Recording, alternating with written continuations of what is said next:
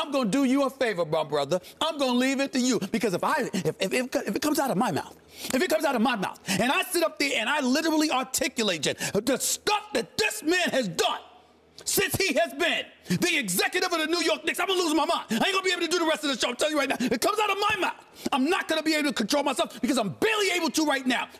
I'm gonna try to keep my composure. A few moments later. His very first move as the executive was to sign Lamar Odom, who was on crack.